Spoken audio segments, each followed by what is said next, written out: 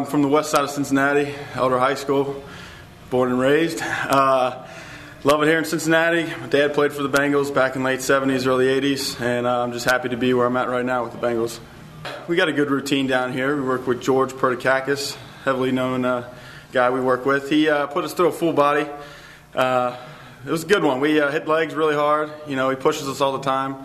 CJ and I go back and forth on you know battling it out, but you know, we do cardio throughout the week. Uh, you know, Ted really gives us a good program to work with, and uh, you know, we enjoy it down here. Last name is spelled B J O R K. The B is kind of soft, and the J is pronounced like a Y, so it's York pretty much. So you know, it's not that hard. Down here, I just started working out like two weeks ago. Here, um, they're giving me hell. I almost want to puke every time, so it's a pretty good workout.